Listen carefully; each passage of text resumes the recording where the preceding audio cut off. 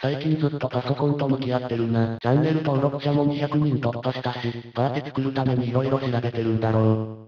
私のターン、ドロー。は？ぁ、あ、皆さんこんにちはニムです。おい、な、なんですか急に。お前今何やってたんだ？最近リリースされたマスターデュエルが楽しくてつい。今回もガチパ企画やるんでしょ？なんか用意してきたの？もちろんです。今回使っていくポケモンは、レジスキルになります。少し前に使用率が急増してたりしたポケモンだな。近年環境ではあまり見なくなったぜ。型の方ですがテンプレの積んでボディプレスする方ですね。今回はオリジナル要素ないんだな。テンプレでいいってことはそれだけこの型で完結してるってことだろうな。なんでレジスキルを使おうと思ったの？前回メタブロスを外してしまった影響で、一貫するタイプが非常に増えてしまったので、鋼枠が欲しいということで今回採用しました。それにこの型なら一体で完結しているので、今使っているパーツと相性が良さそうなんですよね。今は対面構築よりだから、交代せずに対面処理できるポケモンがいいのかもね。1戦目です。お相手の伝説はクワザシアン。俺様たちのパーティでポリゴン2勝てねえだろ。前回まではポリゴンに当たると大体負けていましたが、今回はポリゴンを起点にできるレジスキルがいます。選出ですが大体のポケモンに刺さる闇ラミ、ポリゴンがいる場合にレジスキル出して、あとは大体のポケモンと対マンできるグラードンでいきましょう。その選出だと神剣が重すぎる気がするぜ。ここは俺様が、ポリゴンいるときはお留守番してもらいますよ。絶対勝てないから仕方ないな。対戦よろしくお願いします。お相手はいきなりポリゴンです。パッと見倒す手段ないですからね。この対面どうすんだ？相手が素直に攻撃してくれるなら、メタルバーストで削っていけますけど、まあそれじゃあ普通に交代されるよな。でもこの場合交代される方が都合がいいんですよね。後ろの神剣やザシアンに鬼火入れたいもんな。とりあえず何するかわからなかったので様子見でメタバしました。お相手は冷凍ビームだけど、まあそんなに入りませんよね。メタルバーストは1.5倍の反射だから大したダメージは入らないな。次はメタバ警戒して自己再生してくると思うので挑発しましょうか。これでお相手は攻撃技しか出せないので、ポリゴンを引っ込めてくれるかもしれませんね。次のターンこちらが自己再生すればタスキが使えるようになるので、誰が出てきても大丈夫です。このパーティは本当に闇ラミの仕事が多いぜ。特性と技範囲が優秀なのでついつい頼ってしまいますね。相手は居座ってきたようだな。この後特に考えていませんでしたがどうしましょう。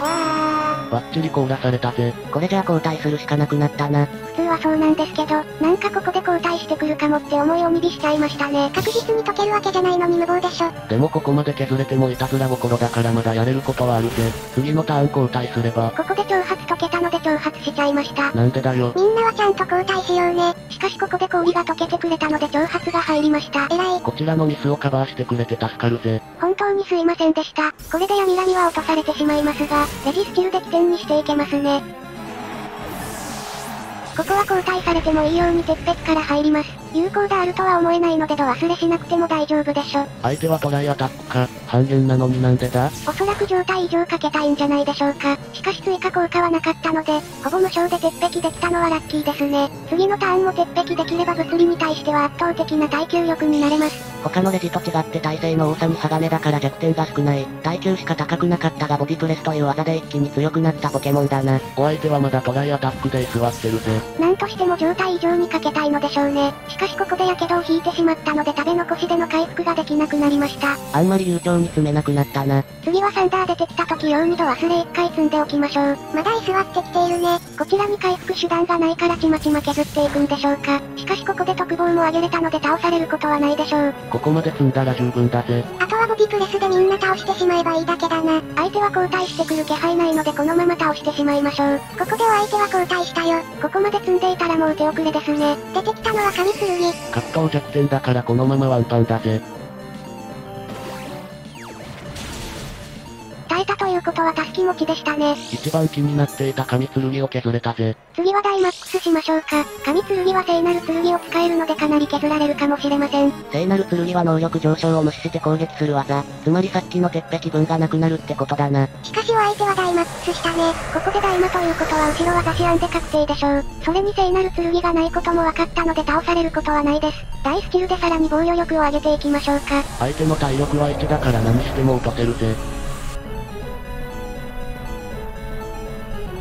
お相手は大アークしてきたよ。タイプ不一致ですし大したダメージ入りませんね。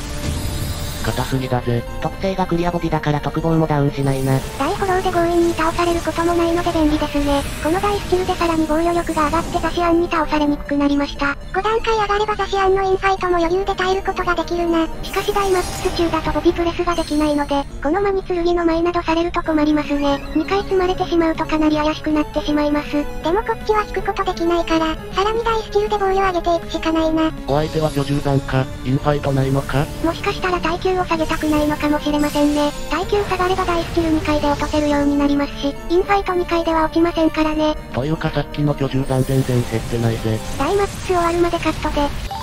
どうやらインファイトなかったみたいですね。ダイマックス終わっても巨獣残連出してきました。これなら急所でない限り倒されないのでこのまま倒します。6段階上がっているので倒せるでしょう。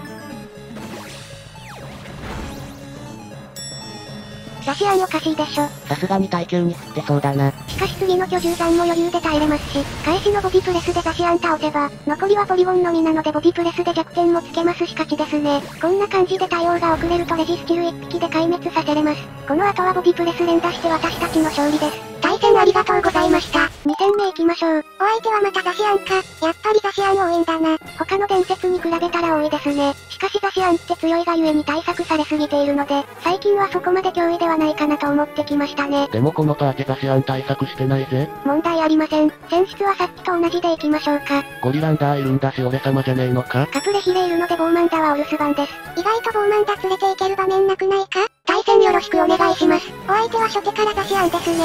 栗対面に見えそうですけど相手次第ですね。メタルバースト警戒してくるなら鬼火とかの方がいいでしょうけど。まだメタバ見せてないしいいんじゃねえか？もし裏を据えるならここで出てくるしな。一応剣の前のこと考えて鬼火しましょうか。レヒレが出てきたらメタバしましょう。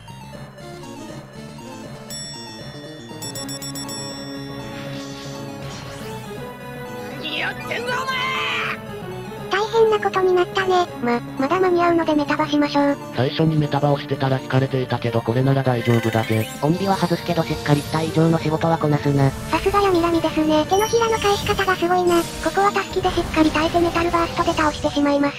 本当にこの闇神読まれにくいよな。しかし最近はタスキ持ち闇神が一番多いみたいです。メタルバースト読む人もいると思うので注意しましょう。金伝がいないとトリック型とかが強いんだがな。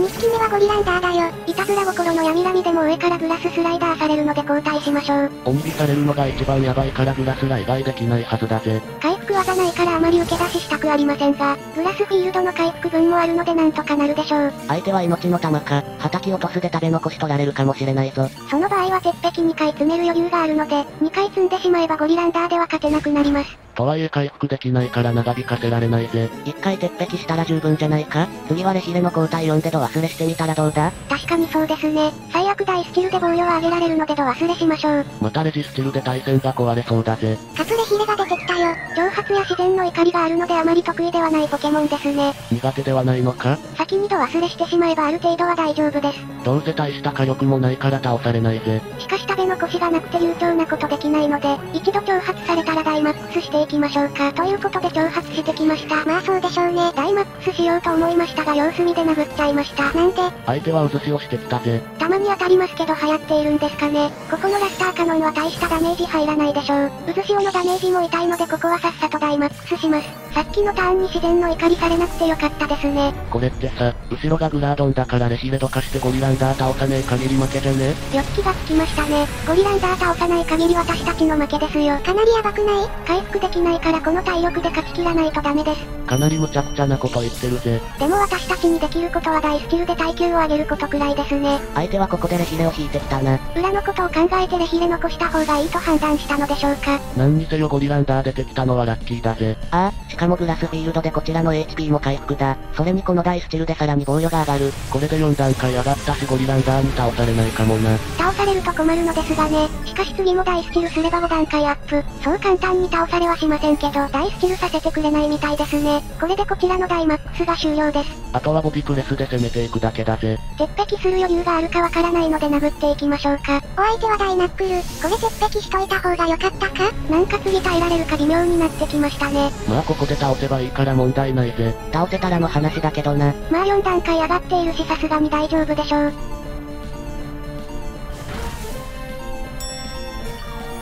鉄壁が正解でしたね。みんなは不安になったらダメージ計算しておこうね。これ次の攻撃耐えれんのか？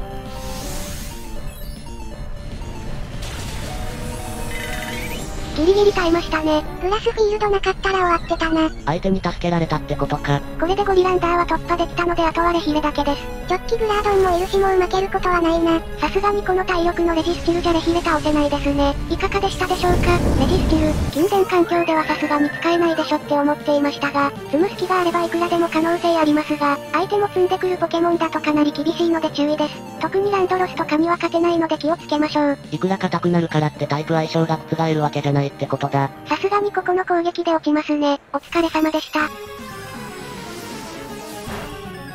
なんか耐えたぜ。ド忘れしていたし半減だから耐えているな。渦潮なら落ちていたが、命中不安が気になったのだろうな。でもさすがに次の攻撃で落ちるでしょう。